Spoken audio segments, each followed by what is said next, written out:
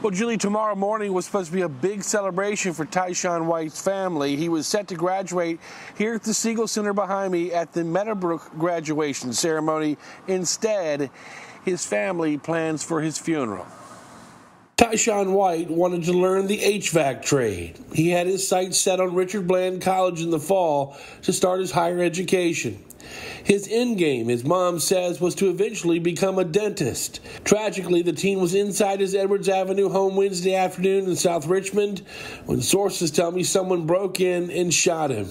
He was pronounced dead on the scene. Tyshawn's mother tells me her son was kind and quiet. He loved basketball and his family. A former teacher of his I spoke with by phone says Tyshawn was always respectful, adding his circle of friends stayed the same through Falling Creek Elementary and middle and also at Meadowbrook High, where he was supposed to walk across the stage and get his diploma Friday morning at 9:30.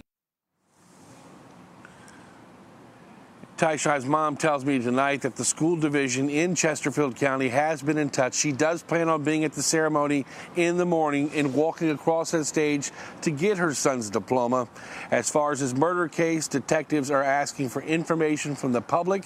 If you have that information, call their anonymous tip line 804 780 1000.